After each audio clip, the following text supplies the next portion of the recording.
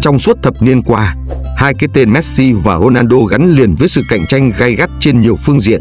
Tuy nhiên sau World Cup 2022, hai cầu thủ này đã bị ngăn cách bởi một danh hiệu. Trong lúc Lionel Messi ăn mừng chức vô địch World Cup, thì CR7 lại âm thầm sang Ả Rập Xê Út dưỡng già. Ronaldo rời World Cup Qatar 2022 trước Messi hơn một tuần, sau thất bại của Bồ Đào Nha trước Maroc ở tứ kết. Trong bức ảnh đánh dấu khoảnh khắc khép lại World Cup của Ronaldo, anh bước xuống đường hầm trong nước mắt.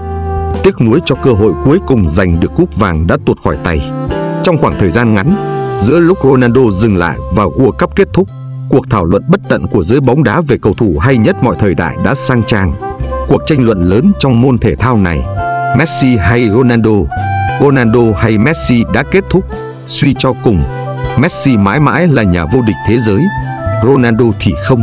Trong thời gian dài kể từ trước khi phát minh ra Instagram, iPad hay Bitcoin, việc lựa chọn Messi hay Ronaldo tùy thuộc vào thế giới quan của người hâm mộ. Vấn đề này còn hấp dẫn hơn khi hai cầu thủ cạnh tranh và bám đuổi nhau hết mùa bóng này đến mùa bóng khác. Ví dụ Ronaldo ghi 40 bàn cho Real Madrid mùa 2010-2011 so với 31 bàn của Messi cho Barcelona. Messi đáp lại bằng 50 bàn vào mùa sau với con số chỉ 46 bàn của Ronaldo. Quả bóng vàng Giải thưởng thường niên của bóng đá dành cho cầu thủ hay nhất thế giới trở thành cuộc thi giữa hai người trong suốt một thập niên. Lúc bỏ phiếu là khi mọi người bầu cho người này hoặc người còn lại. Đơn vị giám sát giải thưởng của Frank Football cho biết Điều này khiến Messi và Ronaldo như cặp đôi chạy trên đường marathon suốt quãng thời gian qua. Nhưng khi vạch đích hiện ra và Messi tung cú sút cuối cùng, Ronaldo chùn bước. Mặc dù hai ngôi sao chưa bao giờ chơi trên cùng một sân ở kỳ World Cup có thể nói là cuối cùng của họ. Tuy vậy giới bóng đá khó có thể theo dõi Messi và Ronaldo trong suốt giải đấu mà không so sánh họ với nhau. Leo tạo nên hàng loạt kỷ lục trên đất Qatar. Anh cán mốc 26 trận tại World Cup, nhiều hơn huyền thoại người Đức Lothar Matthaus một trận. Messi là cầu thủ đầu tiên trong lịch sử ghi bàn ở vòng bảng và mọi trận đấu thuộc vòng knock-out trong một kỳ World Cup. Với việc có thêm hai bàn vào lưới Pháp, anh đã chấm dứt 36 năm chờ đợi cúp vàng của Argentina. Messi sở hữu 13 pha lập công trong lịch sử tham dự World Cup cùng với 8 kiến tạo. Thủ quân của Argentina in dấu giày trực tiếp vào 21 bàn tại World Cup. Đây là điều không cầu thủ nào làm được từ khi FIFA bắt đầu tính đến thống kê này vào năm 1966. Trong khi đó, vào những tuần được coi là hỗn loạn nhất trong suốt 20 năm thi đấu chuyên nghiệp của cầu thủ này, Ronaldo có động thái như đặt dấu chấm hết cho sự nghiệp tại Manchester United khi công khai chỉ trích từ ban lãnh đạo, huấn luyện viên cho đến đồng đội tại Old Trafford. Sau đó, dạng sáng ngày 23 tháng 11 năm 2022, Man United quyết định chấm dứt hợp đồng với Ronaldo. Tại Qatar, anh cũng bị đẩy xuống băng ghế dự bị và không làm được gì nhiều để ngăn chặn thất bại của Bồ Đào Nha trước Maroc. Ronaldo hy vọng mọi chuyện sẽ trở lại đúng hướng ngay khi mùa giải cấp câu lạc bộ tiếp tục. Tuy nhiên trước mắt, anh cần phải tìm được một câu lạc bộ ưng ý. Khi sức nóng của World Cup dần lắng xuống, Ronaldo vẫn có thể được nhớ đến với tư cách là cầu thủ hay nhất mọi thời đại, GO, Greatest of All Time. Tuy nhiên, vấn đề với cầu thủ này chính là tiêu chuẩn cho GO đã tăng lên. Trong khi đó, FIFA đã lựa chọn được người xứng đáng. Cuộc tranh luận về GO đã kết thúc tài khoản chính thức của FIFA khẳng định giải thưởng lớn nhất trở thành một phần trong bộ sưu tập của cầu thủ vĩ đại nhất. Trong ngày Argentina có lần thứ ba vô địch World Cup, Messi là cầu thủ hay nhất.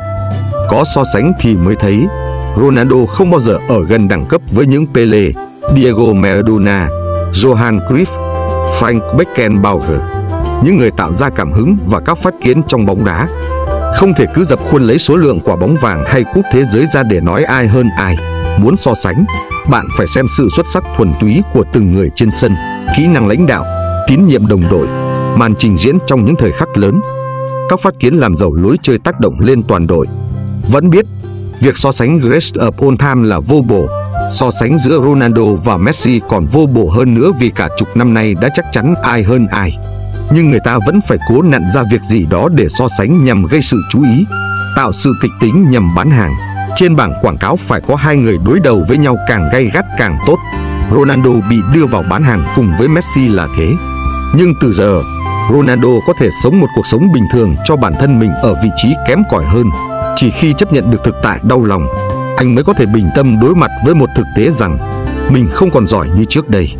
Không đòi hỏi nghiễm nhiên một suất đá chính trong đội tuyển quốc gia hay được một câu lạc bộ lớn mang về. Từ đó có thể bình tâm tìm kiếm một câu lạc bộ phù hợp để viết nốt chương cuối cho sự nghiệp huy hoàng của mình. Hơi muộn, nhưng còn hơn không.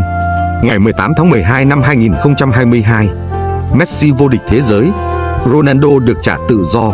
Trong bối cảnh Ronaldo rời bỏ bóng đá châu Âu, Messi sẽ có thể độc chiếm bảng xếp hạng các kỷ lục cá nhân trong lịch sử. Chúng ta sẽ điểm qua câu chuyện Messi có thể phá vỡ 10 kỷ lục của Ronaldo trong tương lai hay không nhé. 1. Cristiano Ronaldo được coi là ông vua ở Champions League. Tuy nhiên, kỷ lục ghi 140 bàn của CR7 đang bị Messi đe dọa. Hiện tại, El Pulga đã cán mốc 129 bàn và có khả năng sớm vượt Ronaldo. 2. Ronaldo cũng là cầu thủ ra sân nhiều trận nhất tại đấu trường danh giá số 1 châu Âu với 183 trận. Messi đang có 161 trận. Với việc chuẩn bị gia hạn hợp đồng với PSG, khả năng mở 10 xô đổ kỷ lục của Ronaldo là không nhỏ. 3. Ronaldo hiện đang giữ kỷ lục cầu thủ ghi nhiều bàn nhất tại top 5 giải vô địch quốc gia hàng đầu châu Âu. Anh có 495 bàn trong sự nghiệp, 311 ở La Liga, 103 ở Premier League và 81 ở Serie A. Tuy nhiên, Ronaldo không có cơ hội nâng cao thành tích này nữa sau khi gia nhập Al Nassr. Ngược lại, Messi đang xếp ngang hàng cùng Ronaldo với 495 bàn, 447 ở La Liga và 48 bàn ở Ligue 1. Chỉ cần duy nhất một bàn thắng nữa thôi, El Pulga sẽ xô đổ kỷ lục này. 4. Ronaldo cũng giữ kỷ lục ghi nhiều bàn thắng nhất cấp câu lạc bộ ở châu Âu tính trên mọi đấu trường. Anh có 714 bàn. Màu áo Real Madrid 450, Manchester United 145, Juventus 101, Sporting Lisbon 5, cuối cùng là Anas với 13 bàn và Messi cũng đang tiến rất gần đến việc phá vỡ kỷ lục này. 5.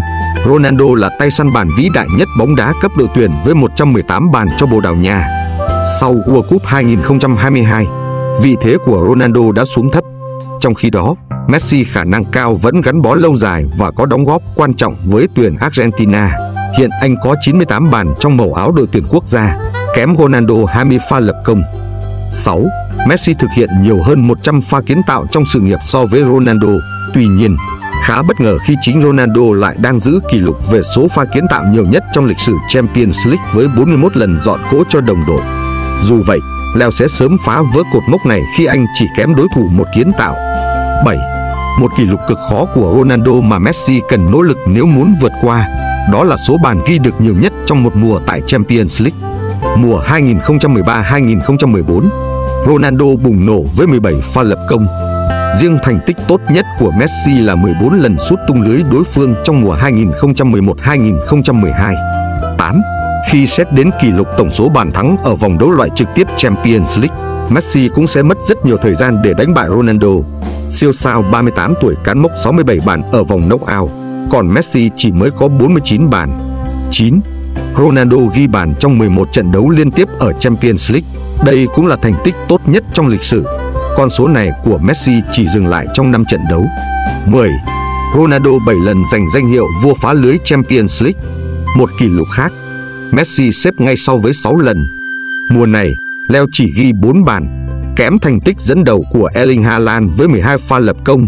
Nhưng thành tích này của Messi không thể được cải thiện bởi PSG đã bị loại khỏi Champions League trước Real Madrid